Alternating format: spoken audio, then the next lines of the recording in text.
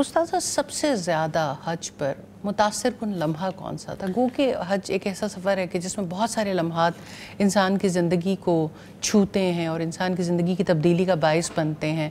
हम आपसे जानना चाहते हैं खसूस तौर पर इस साल वो ऐसा कौन सा लम्हा था?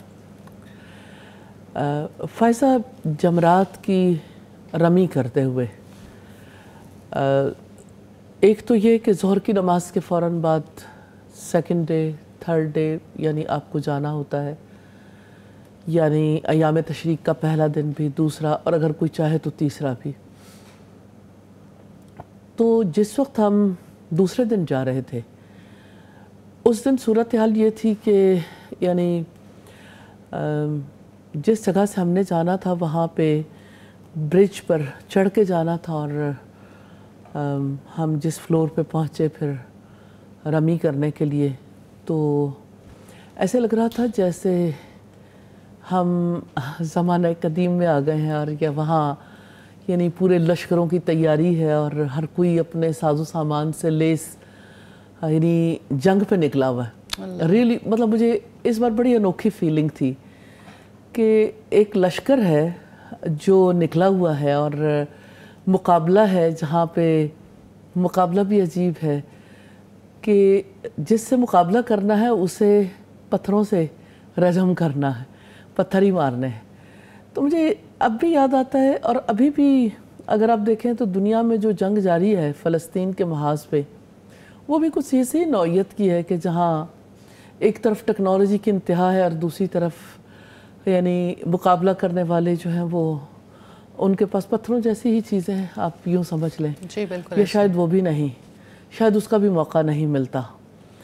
तो वो लम्हा जो था वहाँ पे जाने का, वो सारा वक्त भी, लेकिन फिर जिस वक्त रमी करनी थी, वो वक्त भी सूरत हाल कुछ ऐसी थी कि, यानी लोग इस दफ़ा थोड़ा, यानी मैं फील कर रही थी कि शायद, यानी तादाद वैसे तो नहीं होनी चाहिए, लेकिन शायद ज़ोर के वक्त इस तरह से हो जाता है। तादाद भी ज़्यादा थी और लोग बहुत दूर से पत्थर मार रहे थे और जो लोग करीब थे नस्बता उनके सरों पे पत्थर पड़ रहे थे। तो ये कि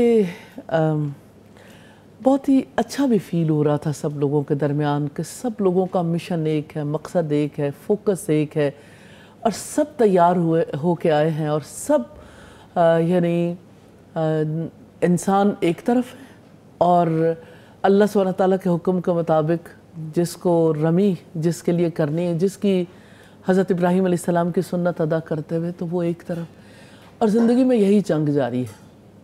वही सबसे बड़ा लेसन भी बना ज़िंदगी के लिए कि अब एक दफ़ा उस मकाम से दोबारा फिर महाज जंग पे आ गए हैं। और इब्तदा से ही इबलीस और आदम की जंग जारी है।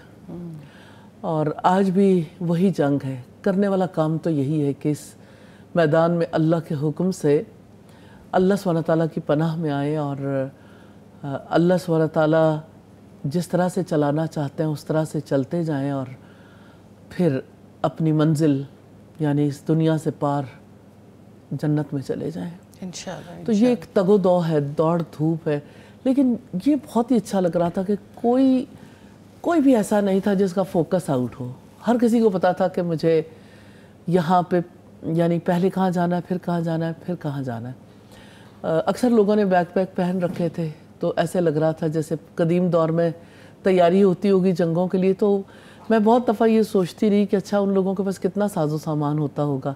नेचुरली लाइट वे में सफ़र करते होंगे और असलहा साथ होता होगा। तो बहुत ही अजीब तरह की फीलिंग थी। ज़िंदगी के महाज पर अल्लाह सुबहाना ताला हमें इस जंग में कामयाब करें। आमीन।